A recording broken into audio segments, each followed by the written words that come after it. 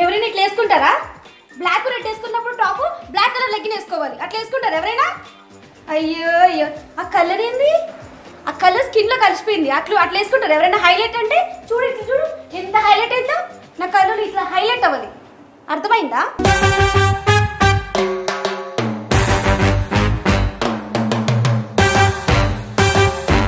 Seriously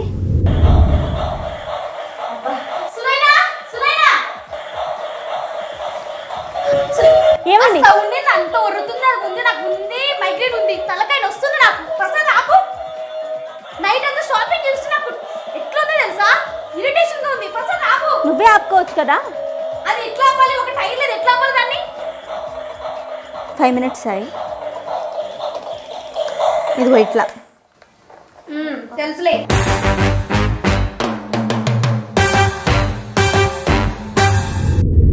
Ya sir I understand but I'm not looking at serials sir ఇప్పుడు.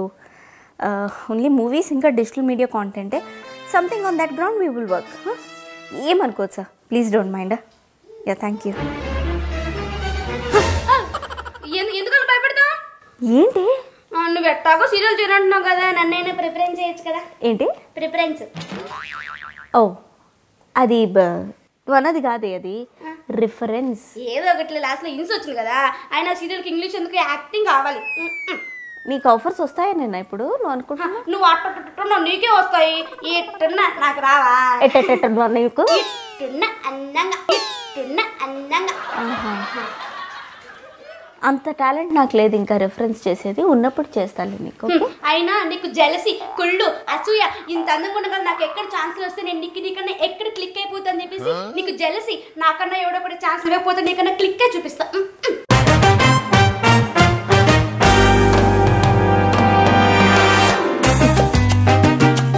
ఇప్పటి వరకు అది ఇచ్చిన బిల్డప్ చూసి మీరు అదైతే నా ఫ్రెండ్ వీలైతే తోడుకోడలు అనుకుని ఉంటారు కదా? జీవితం అనే నా ఈ ప్రయాణంలో నన్ను సంకనాకిస్తున్న నా మనీ తీసుకొని పని చేసే షీ. పని మనీ షీ. లాస్ట్లో ఏమనింది అది? దాన్ని చూసి అసూయపడాల నేను? ఇక దాన్ని చూసే అసూయపడి ఇక నాకు ఆఫర్లు రావని నేను ఫీల్ అయ్యి దానికి ఆఫర్లు ఇప్పించకుండా అడ్డుకుంటానా? అట్టట్టున్నానంట నేను. అంతేలే. అవును మరి అట్లట్లే ఉంటా. అది పని చేస్తుందో అర్థం కాదు దానికి నేను పని మనిషినో అర్థం కావట్లేదు. అందుకే అదేమో టిప్పు టాపుగా నీట్గా ఉంటుంది. దాని వెనక అది చేసిన పనిని సరి చేసుకొని మళ్ళీ చేస్తున్నందుకు నేను ఇదిగో ఇట్లున్నాను. నాకు డ్రెస్ సెన్స్ లేదంట. నా కొడుకు ఆడుతుంటే దానికి ఏంటో అదేంటి మైగ్రేన్ అంట దానికి ఆ బొమ్మ. పిల్లలు బొమ్మలతో ఆడక ఇంకెవరు దాని అమ్మలతో ఆడతారా? ఇంకా రేంజ్కి రాలేదుగా? బొమ్మలతోనే ఆడతారు పిల్లలు అన్న తర్వాత. నాకు కూడా సౌండ్ పడదు. అట్లాంటి నేనే భరిస్తున్నప్పుడు ఇక దానికేంటి ప్రాబ్లమో నాకు అర్థం కాదు. చివరాఖరికి ఆ బుడ్డిగాడికి కూడా ఈ ఈ టైం ఫ్రేమ్లో నువ్వు ఆడుకో ఈ టైం ఫ్రేమ్లో ఆడుకోవద్దు ఏమనంటే అంటే పని వాళ్ళని ఈక్వల్గా ట్రీట్ చేయాలి అది ఇది అని అంటారు. అట్లా ఈక్వల్గా ట్రీట్ చేసినందుకు నేను కూర్చోవాలా లేదా ఆలోచించే సోఫా మీదనే అది కూర్చొని దర్జాగా దాని స్మార్ట్ ఫోన్ తోటి ఆపరేషన్స్ చేయించుకుంటుంది. ఆ స్మార్ట్ ఫోన్ అప్పుడప్పుడు పని చేయకపోతే నా స్విగ్గీలోంచి ఆర్డర్ చేసుకుంటుంది.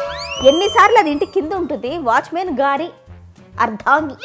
ఎన్నిసార్లు అది కింద ఉంటుంది ఆ కింద రావాల్సిన స్విగ్గీ నా ఫోన్ నుంచి ఆర్డర్ చేసుకుంటుంది కాబట్టి మా ఇంటికి వస్తుంది. నేను చేయలేదు కదా అని ఆలోచిస్తా. ఆ తర్వాత అవాక్ అవుతా. ఆ తర్వాత రియాలిటీ అర్థమైన తర్వాత అడ్జస్ట్ అవుతా. ఇది నా పరిస్థితి. ఇంటి కిందే ఉంది ఎప్పటికప్పుడు అప్లికల్గా ఉంటుంది అవైలబుల్గా ఉంటుందని పెట్టుకున్న పాపానికి అది నా నెత్తి మీద ఎక్కి శివతాండవం చేస్తుంది. మొన్నటికి మొన్న అది కేబుల్ కనెక్షన్ కట్టలేదట డబ్బులు. దాని ఇంట్లో కట్ చేసిపోయాడు వాడెవడో. వచ్చి ఇమ్మీడియట్గా ఇక్కడ పెట్టుకొని టీవీ ఆన్ చేసుకొని చూస్తోంది సీరియల్. పెట్టు పెట్టు పెట్టని అదే పెట్టే లోపల అది ఆన్ చేసేసుకొని చూస్తుంది ఆ సీరియల్. డైలీ ఫాలో అయ్యే డైలీ సోప్ అంట అది. నేనేమో మా ఇంట్లో మా పిల్లాడి కోసం కనీసం టీవీ కూడా పెట్టడానికి ఆలోచిస్తా. ఎక్కడ ఆ పిచ్చి పిచ్చివన్నీ అన్నీ చూస్తే వాడు ఎక్కడ ఇదైపోతాడు అని. దీనికి మాత్రం నో రెస్ట్రిక్షన్స్ దీపావళి మొన్న వెళ్ళింది కదా? ప్రతి దీపావళికి ఇంట్లో పనిచేసే వాళ్ళకి చీరలు పెట్టడం చాలామంది కానే అవుతుంది నేను కూడా చాలా ఎక్స్పెక్టేషన్ మధ్య అది చాలా థ్యాంక్ యూ అమ్మగారని తీసుకుంటా అమ్మగారు. ఏ ఓయ్ సునయనా ఇది అది నన్ను పిలిచేది. నేను ఇంకా దాని పేరు పెట్టి పిలవడానికి ఆలోచిస్తాను ఇక అమ్మగారు కూడా. సరే అదొక టార్చర్లేండి అయితే దానికి ఒక చీర తీసుకొచ్చాను నేను ఐదు వందల రూపాయలు పెట్టి. అది ఇదా? గిసువంటిది పెడతావా? పెట్టకపోతే పెట్టకపో. కానీ గిసువంటిది నేను కడతాను అనుకుంటున్నావా అని నా మొహం మీద కొట్టిపోయినంత పని చేసి ఒక two thousand nine hundred and ninety nine rupees చీర కొనుక్కున్నది. నేనే ఆ బడ్జెట్ అని ఒక eighteen hundred rupees normal fancy sari కొనుక్కున్నా అది two thousand nine hundred and ninety nine rupees పెట్టి చీర కొనుక్కుంది ఏంటి ఎక్కడ కొన్నావు? ఏంటంటే ఫ్లిప్కార్ట్ ఆథరైజ్ తెలియదా అని అడుగుతుంది నన్ను. ఫ్లిప్కార్ట్లో కొనిందంట అది బా దానికి ఉన్న ఇన్ఫర్మేషన్కి దానికి ఉన్న అవేర్నెస్కి నా జోహార్ బ్యాచ్ జోహార్. నెలకి రెండు లీవులు కంపల్సరీ. అదేం జరమరా దుఃఖలాగా ఉందో. చూశారు కదా? పైగా రెండు లీవులు కంపల్సరీ ఇవ్వాలి. అది పెయిడ్ లీవ్స్ అన్నమాట. ఇంకొక రెండు మూడు నాలుగు అది కూడా పెయిడ్ లీవ్సే అప్పుడు వాళ్ళకి జ్వరాలు వస్తాయి వైఫ్ అండ్ హస్బెండ్ కొట్టుకుంటారు. దానికి మనసు బాలే ఇదేమన్నా బ్రెయిన్తో చేసే పనా? మనసు బాగాలేకపోతే చేయకుండా ఉండడానికి. వాళ్ళ ఆయన మీద అది అలిగితే నేను మా ఇంట్లో అంట్లు తోముకోవాలండి. అది రాదు పని చేయటానికి ఒక రెండు మూడు రోజులు. టెన్షన్గా కొట్టుకుంటారు వాళ్ళు. ఇంకా అది ఊరెళ్ళినా నా దరిద్రానికి నేను ఊరెళ్ళినా మొత్తం ఫుల్ మంత్ శాలరీ ఇవ్వాలి. మనుషుల తర్వాత అవసరాలు రావా? వస్తాయి. కానీ నన్ను ముంచేసే అవసరాలు ఏంటో ఇవి? మా ఇంటికి ఎవరైనా గెస్ట్లు వస్తున్నారంటే నేను భయంతో వణికి చచ్చిపోతా. ఎందుకంటే ఆ గెస్ట్లు ఒక రోజు రెండు రోజులు ఉండి వెళ్ళిపోతే అది వేరే విషయము. ఒక పూట వచ్చి తినిపోతే అది వేరే విషయం ఛార్జెస్ అనమాట ఒక వన్ వీక్ ఉంటే అది వేరే విషయం. ఇట్లా మూడు దశల వారీగా ఛార్జీలు ముందు మాట్లాడుకున్నప్పుడు ఇవన్నీ చెప్పలే కదా. ఎప్పుడప్పుడు వస్తారు అనుకున్నాము. వస్తే మాత్రం ఎక్స్ట్రా ఇయ్యరా మీరు? ఏం వాళ్ళు తినేది కాదా? మాకు ఎక్స్ట్రా తోమమా మేము? అయితే అట వాళ్ళ ఇంట్లో తినొద్దట. లేకపోతే తిన్నందుకు ప్లేటుకు పదిహేను రూపాయలు వండినందుకు గిన్నెకి పదిహేను రూపాయలట. మరి ఈ లెక్కన ఇంటి చాకరీ నేను ప్రతిరోజు చేస్తున్నందుకు నేను ఎన్ని వేల లక్షలు అడగాలో నాకు అర్థం కావట్లేదు. ఎవరైనా వచ్చి వారం రోజులు అంటే ఫస్ట్ అసలు నేను ఐదు వందలు వెయ్యి తీసుకొచ్చి దానికి ఇచ్చేసాను ఎక్స్ట్రా. డిస్గస్టింగ్ అన్న మాట చాలా ఎక్స్ట్రాడినరీగా అనిపిస్తుంది. ఎందుకంటే ఇట్లాంటి వాళ్ళని తిట్టడానికి నాకు కొత్త పదాలే దొరకట్లేదు దాన్ని చూసి అసూయపడాలట నేను. ఆ? ఏది యాక్టింగ్ విషయంలో దాన్ని చూసి అసూయపడాలి. రిఫర్ ఏం చేస్తామండి? షీఈ్ మై మేడ్ మీరు సీరియల్లో హీరోయిన్ పాత్ర కోసం చూస్తున్నారు కదా? చెప్పడానికి నాకు నోటితో మాత్రం నవ్వు రావట్లా. నోటితో నవ్వు రావట్లా దీని సంగతి చెప్పడానికి. ఇక దేంతో వస్తుందో మీరే ఆలోచించుకోండి. ఛీ, నా బతుకుచ్చాడా పైగా మా సారు ఆ ఇంటి సార్ ఎప్పుడు నా వెనకాలే ఉంటాడు నన్ను వదిలేసి మా ఆయన దాని వెనకాల పడాలా? ఏమన్నా కామన్ సెన్స్ ఉందా? అంటే మా ఆయనకి టేస్ట్ లేదనుకోవాలా? అంతకన్నా ముందు నన్ను పెళ్ళి చేసుకున్నాడు అది కూడా టేస్ట్ లేక చేసుకున్నాడు అని ఒక అంచనాకి రావాలా? దాని వెనక ఇంటి పని చెప్పడానికి ఉంటే ఆ సారు నా ఇట్లాంటి గాసిప్పులు మోస్తారండి వీళ్ళు. యూట్యూబ్లో గాసిప్పుల మీద బతుకుతున్న ఏ ఛానల్స్ కూడా వీళ్ళ నోటికి సాటి రావు. ఆ గాసిప్ మోసే వాళ్ళనే వేరే వాళ్ళ ఇంట్లో వాళ్ళు ఉంటారు కదా? ఏ పని లేని వాళ్ళు? ఓ సారీ చాలా పని ఉన్న వాళ్ళు ఈ ఇట్లా ఎవతైతే ఎక్కువ గాసిప్ చెప్తుందో ఆ పని అమ్మాయికి ఎక్కువ ఇళ్ళు ఉంటాయన్నమాట. అట్లా చెప్పుకొని బతికేస్తున్నారు. ఈ పని లేని వాళ్ళు అప్పుడప్పుడు కిట్టి పార్టీ పెట్టుకొని నాలాగా పని ఉందా లేదా అని అర్థం కాని వాళ్ళని కూడా పిలుస్తారు కదా అట్లాంటి కిట్టి పార్టీకి నేను పోయి దీన్ని పిలవలేదని అలిగిందండి. ఎవడైనా ఈ పాయింట్ మీద గొడవ పెట్టుకుంటాడా? ఏ నేను మాత్రం లేడీని కాదా? నాకు మాత్రం కిట్టి పార్టీలు ఉండవా? నువ్వు తీసుకో ఇక అట్లెట్లా నన్ను పెట్టవు? నన్ను తీసుకుపో? దీన్ని కలుపుతారా ఎవరైనా? అంతకన్నా ముందు దసరా అయినామని అడిగింది. సరే ఓకే. టూ హండ్రెడో త్రీ హండ్రెడో ఇద్దాం అనుకున్నా ఇట్లా తీసేటప్పుడు బ్యాలెన్స్ హండ్రెడ్స్ పడిపోయింది. తీసుకొని అది ఉంచేసుకుంటూ ఉందండి. ఇనాము వెయ్యి రూపాయలు ఇస్తారు ఎవరైనా? అది ఉంచేసుకుంటుంది అదేంటి అంత ఒక మూడు వందలు తీసుకుని బ్యాలెన్స్ ఇవ్వని అడిగినందుకు నేను చెడ్డదాన్ని నేను పిసిరి కొట్టుదాన్ని. దీనికేం పదేళ్ళ పూజారి? నాకు ఒకే ఉద్యోగం కదా. మరి లెక్క ప్రకారం దీనికే అర్నింగ్స్ ఎక్కువ. దీన్ని పోషించడానికి నేను కుక్క చాకరీ చేయాల్సి వస్తుంది. మా చుట్టాలకు ఇంట్రడ్యూస్ చేయలేదని అలుగుతుంది దానికి గొడవ పెట్టుకుంటుంది. సబీనా వద్దంట దీనికి అది అది ఎప్పుడూ అవుట్డేటెడ్ కనీసం సోపులు కూడా వాడదు. ఒక సిక్స్ మంత్స్ అయింది మా ఇంట్లో బట్టల సోపు అండ్ ఈ అంట్లకి సోప్ వాడి మేము ఏదేది? సిమ్ లిక్విడ్ వాష్ కావాలి. పైగా ఆర్చ్ బ్రైట్ కావాలి. స్టీల్ పీచులు రాగి పీచులు ఇత్తడి పీచులు ఈ పీచులు ఏం పనికిరావు అనమాట చేతులు రఫ్ అయిపోతాయట దానికి. రఫ్. మెషిన్లో అన్నీ వేసావా? ఆన్ చేయడమేగా? అని అడుగుతుంది. అంటే మెషిన్లో నీళ్ళు నేనే నింపాలి. బట్టలు నేనే వేయాలి. లిక్విడ్ మళ్ళీ సర్ఫ్ కూడా కాదు. లిక్విడ్ నేనే వేయాలి. ఆ లిక్విడ్ని నా చేత్తో నేనే కలుపుకోవాలి. ఎందుకంటే అట్లా లిక్విడ్ కూడా వాడితే ఆమె హ్యాండ్స్ అంతా చాలా హార్డ్ అయిపోతున్నాయంట. వాళ్ళ ఆయన గారంటే చాలా బాధపడుతున్నారంట. అందుకే అట్లా నేనే కలిపితే వచ్చి స్విచ్ చేస్తుంది. ఆ బాడీ స్విచ్ నేను వేసుకోలేనా? మన ఫాల్స్ ప్రెజడైజ్ కోసం మనం పెట్టుకోవడం కానీ వాళ్ళని లేకపోతే ఏంటండి? మొన్నటికి మొన్న ఇల్లు తుడిచే క్లీనర్ ఫ్లేవర్ మార్చానని గొడవ పడిందండి నాతో. దానికంటే ఆ వాసన పడదట.